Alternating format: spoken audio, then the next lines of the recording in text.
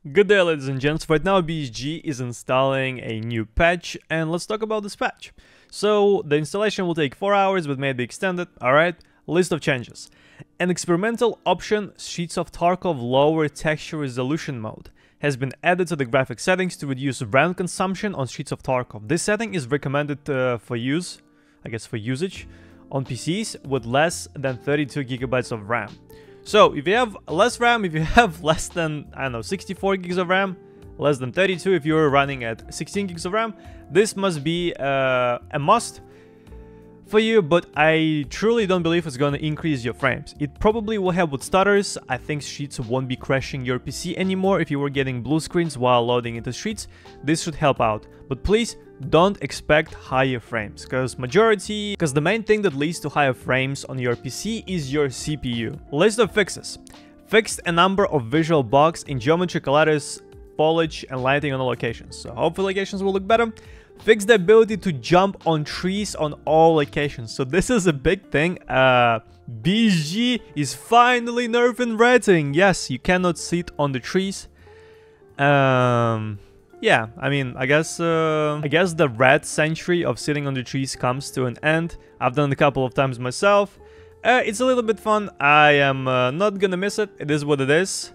But it's a fun thing that they decided to do it now. Out of all the things, they decide to close the trees for ads. Like, I don't know, the timing is just weird. Let me know what you think about this change in the comments down below. Uh, fix the bug that caused a decrease in hit registration accuracy. Hopefully bullets will finally not go through the enemies. I had a raid a few days ago when I was shooting the guy and I think three bullets just went through his chest and I see that they're going through his chest and they're just hitting the wall behind them. They didn't register on the chest, they just hit the wall and I was like, bro, what? So I hope this is getting fixed. Fixed visual duplication of quest objectives when partially handing over required items. Okay. Remove the ability to display weapons without critical attachments on the weapon stand. Alright, so right now if you have a random weapon body, you cannot put it on the stand. It has to be a fully assessed, fully assembled gun. Fix the bug that resulted in the possibility to use paid vehicle exfils, exfils multiple times in the same raid. So that was a bug when uh, you would go to customs, somebody would use Uber, the Uber would drive away, but the gates will stay open, the car would become invisible, and you come to this invisible car, you pay for it, and uh, you get home. This is it. That's how you exit, using invisible car. Fix the insurance bug when placing weapons on the weapon stand. Fix the animation of opening the inventory when the player is holding a pistol. Okay, so the patch is uh, 4 hour long.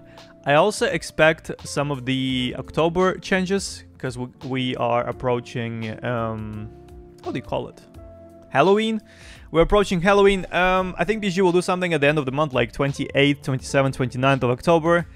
A few years ago, we had a really fun time when um, BSG spawn cultist on every single map and there was no time choice like no matter if you go daytime or nighttime the weather would just be gray with fog and the cultists would be everywhere that was quite fun so maybe they are doing something similar this year and this is why the game is going down for four hours because they need to install that that's my guess i might be wrong uh, so yeah, we're gonna be trying out the new patch on Twitch. Check me out there. I stream every day. We have some fun content on Twitch.